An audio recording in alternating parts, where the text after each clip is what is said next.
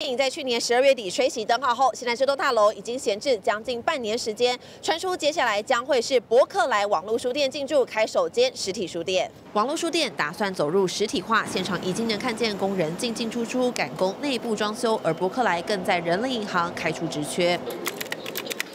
输入伯克莱关键字，上班地点就在信义区，要征现场营运主管和复合式图书文具组员工，资历两年，薪资开在三万一千九百九十元，相比对手成品不限年资，起薪三万二，两家差异不大。职缺更能推测，伯克莱实体书店就是要跟成品打对台，同样走复合式。传出六七楼规划开星巴克旗舰店，还有顶楼露天座位远眺一零一，结合书店吸引人流。好像是新的店，然后我觉得说，看似它会怎么样的经营模式。或是一些风格之类，我也想想要看看啦。因为博客来通常都只在网络上，不是吗？然后就是没有看过他实体经营的样子。那而且接手，因为成品又是很大的书店，他如果可以接手这样经营的话，会蛮好奇的。听到又有书店要进驻，民众眼睛为之一亮。不过就在距离不远的松烟园区，则有成品松烟接棒二十四小时书店，周围还有金石堂和鸟屋书店，俨然成为一级战区。后进的博客来恐怕得做出差异化。只做书籍贩售的这种实体书店，其实算是比较示威。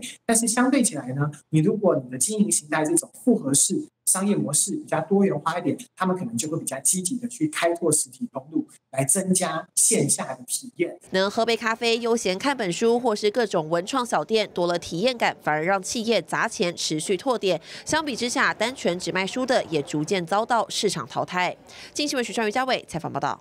立刻下载《静新闻》App，一手掌握新闻时事，尽善尽美，尽好新闻。